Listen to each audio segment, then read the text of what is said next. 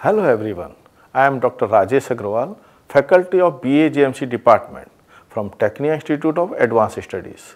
Today I will discuss the concept of film. Film is a combined form of entertainment, information and education. Film is composed of a sequence of images and shown in a cinema hall, TV and now on internet also. Film is a continuous strip of exposed celluloid material.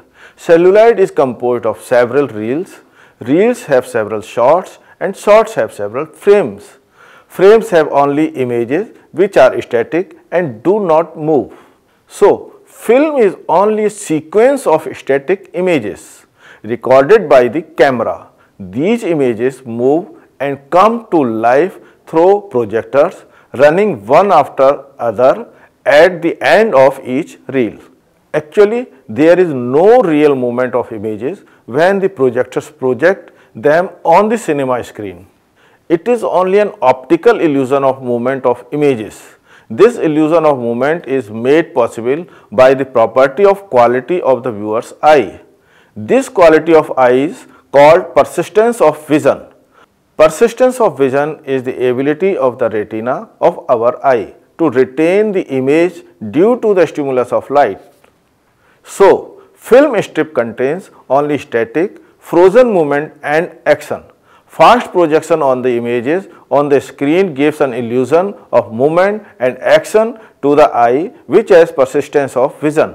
In technical terms, film is a thin flexible strip of cellulose coated with a photographic emulsions used to make negatives and transparencies. A strip of film wound on a spool usually 8, 16 or 35 millimeter wide up to several hundred meters long.